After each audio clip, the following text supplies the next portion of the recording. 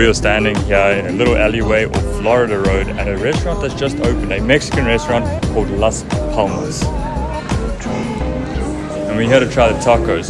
So we brought Christy along because she's been to Mexico. She knows what true Mexican tacos taste like.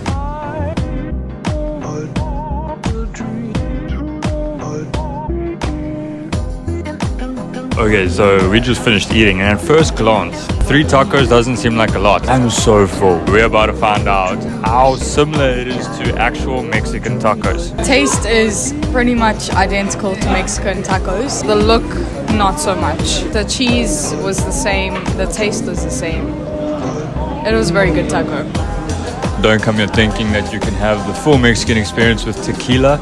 It is halal, so there's no alcohol, but their house beverages are Mexican drinks. Really nice. I really like this place because inside the shop you feel like it's the street food vibe. 10 out of 10.